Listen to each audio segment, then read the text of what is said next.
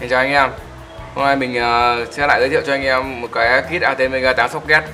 Thì uh, cái kit này sẽ phục vụ cho anh em trong việc làm chương trình vào IC Kit này rất là nhỏ gọn và rất dễ sử dụng.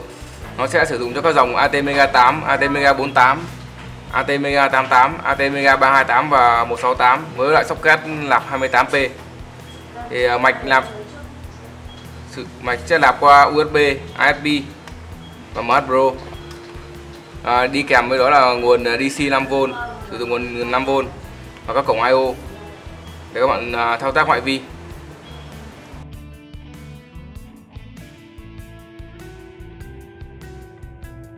Cảm ơn các bạn đã quan tâm đến những video của nhóm. Hãy comment những gì bạn muốn và đừng quên like, share và subscribe cho nhóm nha. Và xin chào và hẹn gặp lại các bạn ở các video lần sau.